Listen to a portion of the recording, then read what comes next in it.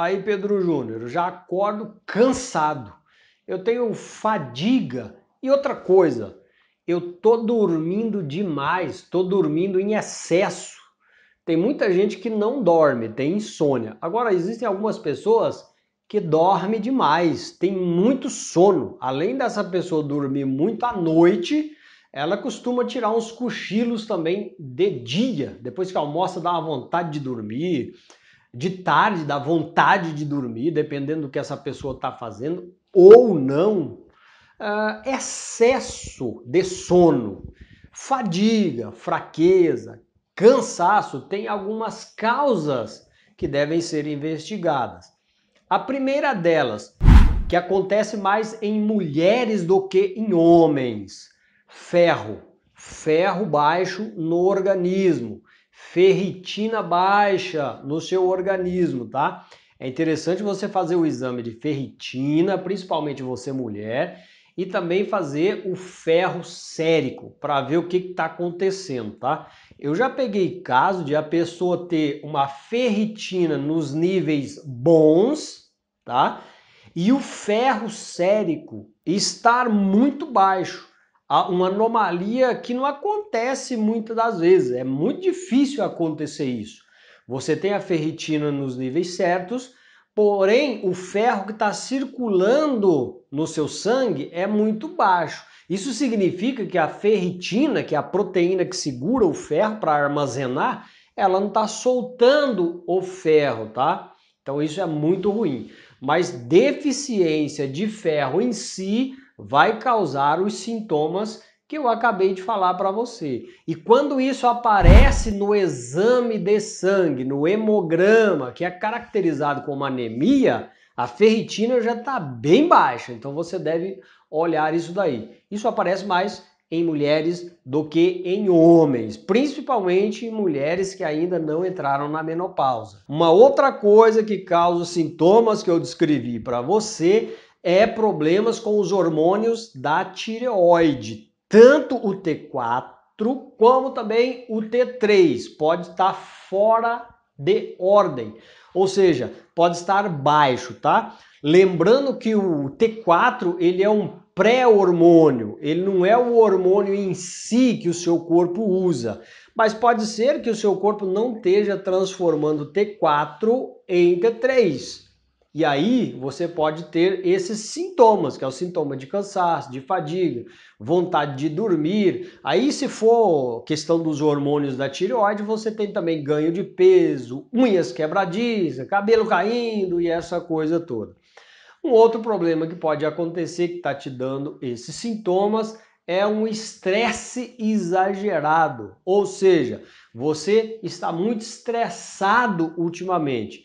E lembre-se, estresse não é você ficar com raiva do seu patrão, do seu filho, do seu esposo ou alguém que esteja aí te enchendo o saco, não. Estresse ele é ocasionado por vários fatores, até mesmo as toxinas que a gente ingere no dia a dia sem querer, digamos assim, Pode causar estresse físico, tá? Você pode ter um estresse mental, todo, todos os tipos de estresse que acontece, né? Uma, uma gripe que você tem causa estresse no seu corpo.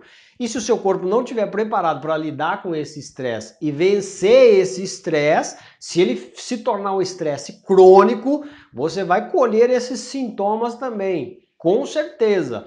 O ápice do estresse é aquela síndrome chamada síndrome de burnout, aquela que você tem vontade de meter o pé na jaca, meter o pé no balde, desanimar de tudo. Às vezes você pensa até em pegar a sua sacolinha, a sua malinha e sumir no mundo. Pois é, isso aí é o cúmulo do ápice do estresse, geralmente. Então eu citei para você aqui três causas possíveis pelo motivo que você está tendo esses sintomas aí que eu acabei de falar para você. Estudar profundamente o que pode acontecer no seu corpo, no seu fisiológico, é muito importante, porque daí você sabe as causas, as, os motivos reais do que está acontecendo com você, que pode ser vários.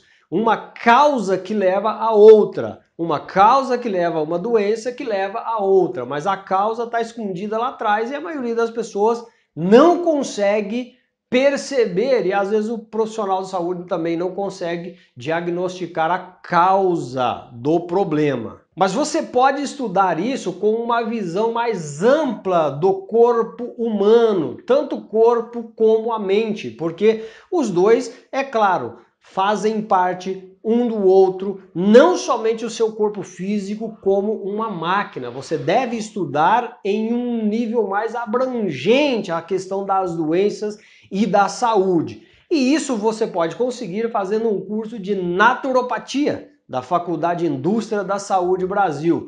Faculdade Indústria da Saúde Brasil prepara o profissional na área da saúde natural. Como eu disse, prepara o profissional, ou seja, o curso de naturopatia da Faculdade de Indústria da Saúde Brasil é um curso profissionalizante que ensina você a cuidar da sua saúde por meios naturais.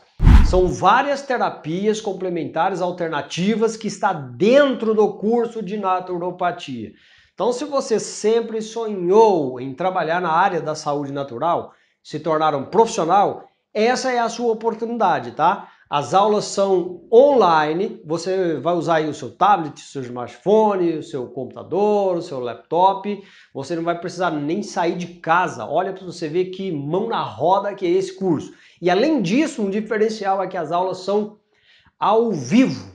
Isso mesmo, no momento que você estiver assistindo a aula, é o momento que ela está sendo transmitida em tempo real para você. E você pode é, entrar em contato, você pode ter essa, esse diálogo, você pode ter essa interação com o seu professor que está transmitindo a aula e também com seus colegas no ambiente virtual da Faculdade de Indústria da Saúde Brasil.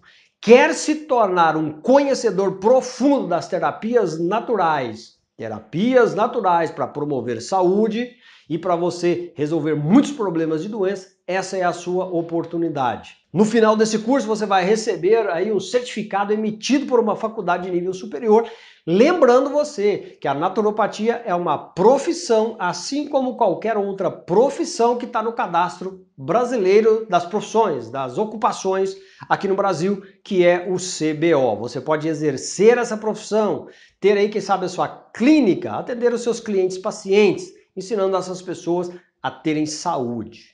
Não perca tempo, liga no telefone que está aqui embaixo do seu vídeo, que é o WhatsApp.